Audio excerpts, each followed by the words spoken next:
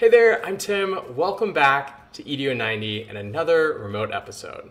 I'm here at home and recording on my Chromebook. As the COVID 19 crisis continues, many of us are still trying to adapt to the new reality of at home learning, and educators and guardians may find themselves looking for ways to keep students engaged and challenged. One solution to help with this is Grasshopper, a fun free app that teaches coding to learners ages 13 and up. On this episode, we'll take a look at how it might be useful for your students and how they can get started. Let's check it out.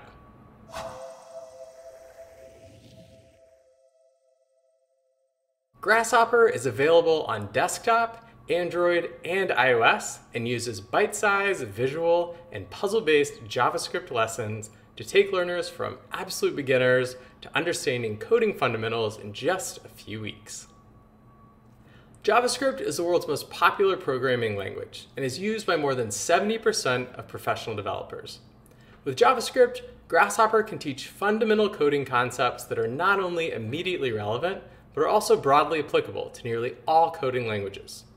Starting with JavaScript gives learners the foundation they need, as well as the flexibility to apply what they learn in Grasshopper to other programming languages. Even for eager learners though, coding can sometimes seem daunting. That's why Grasshopper is designed to offer an accessible and encouraging coding education. With lessons backed by computer science research, Grasshopper gives students the support they need to increase their confidence and motivation. Beginning coders can get basic experience in coding and then move on to more extensive training that broadens their skills. Grasshopper embraces meeting students where they are with lessons that are always available.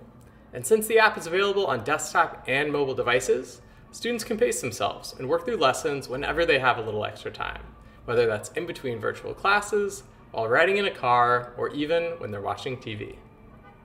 Lessons in Grasshopper begin with JavaScript coding fundamentals and gradually progress in difficulty to cover topics like algorithms, web page creation, and computational thinking.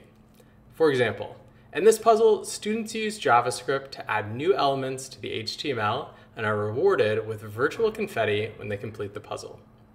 Students using Grasshopper learn how to create fun animations with code, build a website using HTML and CSS, and use various problem-solving techniques that help them apply new concepts to what they've already learned.